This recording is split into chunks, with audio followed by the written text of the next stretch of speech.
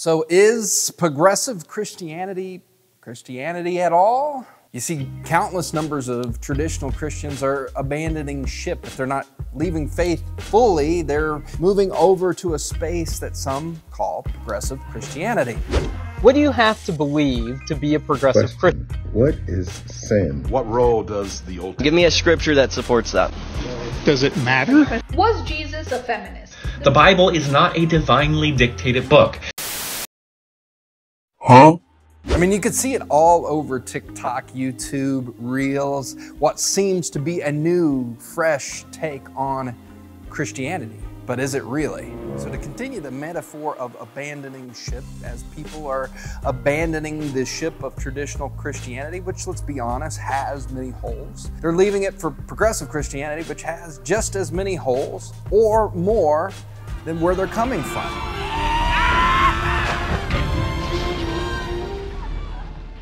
But irregardless of where you find yourselves on the high seas of faith, stick with me for the next few moments and I'll show you how to ground your faith when it seems to be sinking on church door.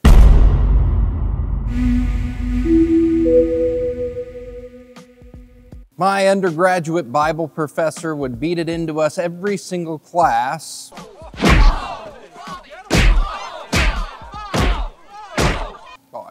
Not literally beat it into us, but it was certainly emphasized. Definitions are extremely important. And in the case of the modern landscape of Christian faith, I would say they're more crucial than ever before. We live in a time when you say something as simple as truth, you've just opened up a Pandora's box of people's thoughts and opinions trying to explain what that truly means.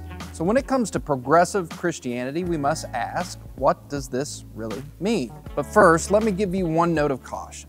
This is not meant to villainize people who might find themselves in this space. It is only to help us, as we all are in the pursuit of truth, to wrestle objectively with the reality of what Christian faith is.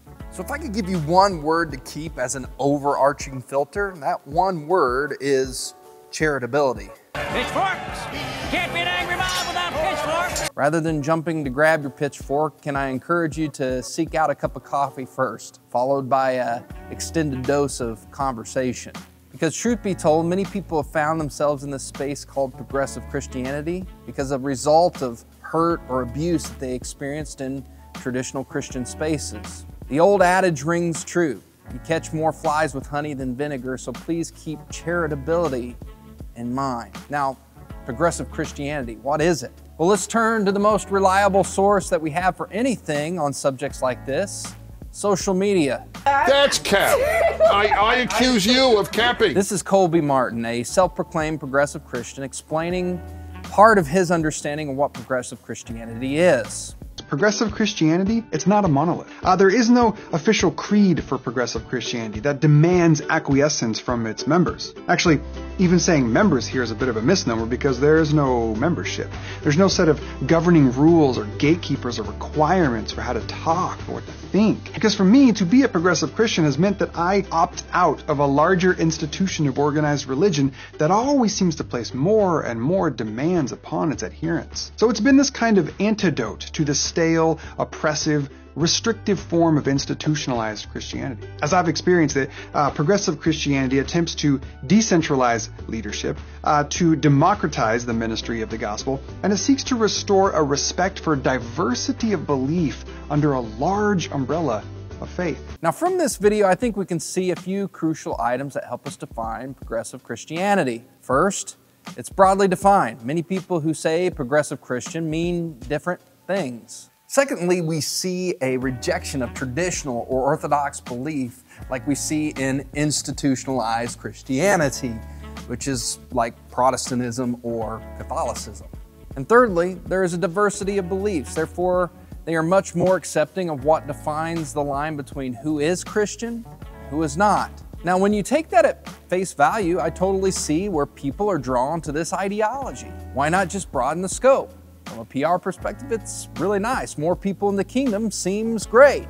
But digging a little bit deeper, prominent progressive theologian Brandon Robertson, in his conversation with apologist Sean McDowell, said this If items we learn contradict our faith, speaking of science, history, or reason, we should be open to rethinking and reforming our beliefs.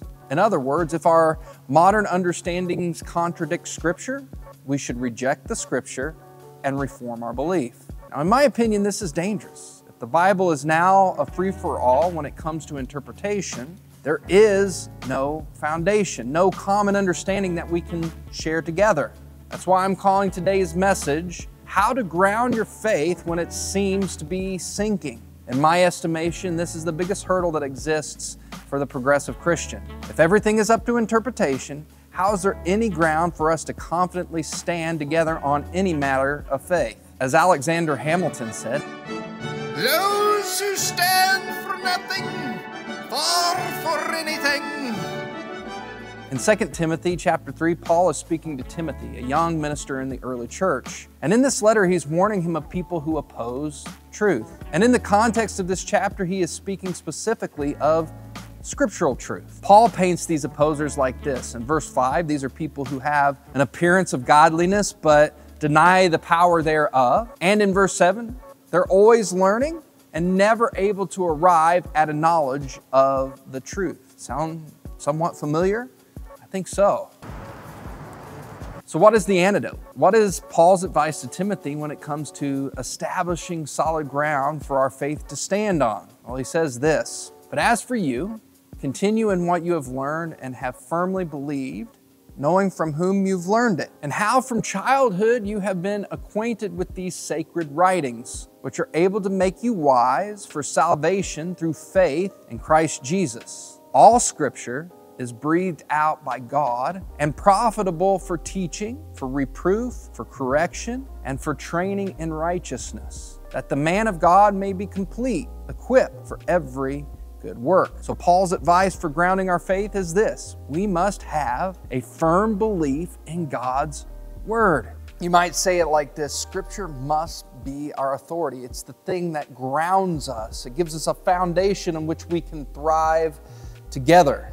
Now, many who are in progressive circles might say, who defines Scripture then, and how is it interpreted as authority? I think Francis Chan did a great job giving his thoughts on this idea recently, saying this There was one council of leaders, and what did one they, authority? Yeah, mm. and they all looked at this book, studied it together, and came up with this is our best understanding, and everyone came under it.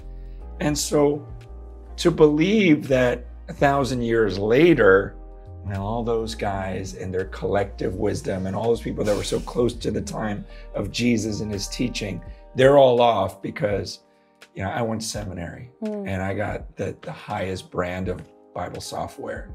And I was in my office for years, you know, studying this, and I've got it. There's an arrogance to that. We, as traditional Christians, are part of a lineage that has affirmed these scriptures for centuries. The 66 books we call the Bible are not just fly by night inspirational words, but divine writings that Christians have built their lives around for over 2,000 years. Like Francis said, who are we to think that now in this generation we have outsmarted the ones whom we're standing on their shoulders? Paul's advice to Timothy was to lean into what had been passed on to him as truth, not to just throw it away. and why? Because these scriptures are from God. They're not just human philosophies, they are divinely directed words that have power. Power, as the scripture says, makes us righteous or right and equips us for every good work. If we can submit ourselves under it fully, not just cherry picking verses or pulling verses out of context to support a specific ideology, it can give us the mutual ground that we need to strive forward together. Listen, there is a big difference between having a fascination with Jesus and actually following Jesus.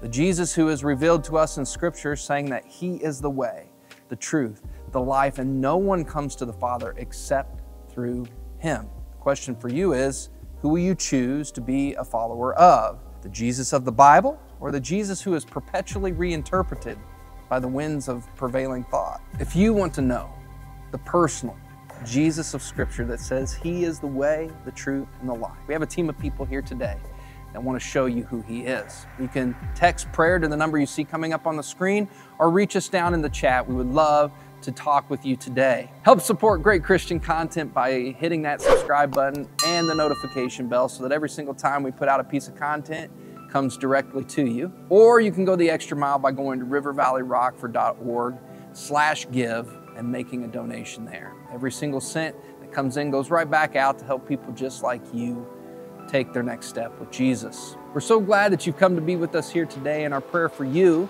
is that you would discover the true Jesus of Scripture. And as you've discovered him, you would follow him with all that you are. Hey, we post a video on this channel every single week. Here's one more video we think will encourage you today.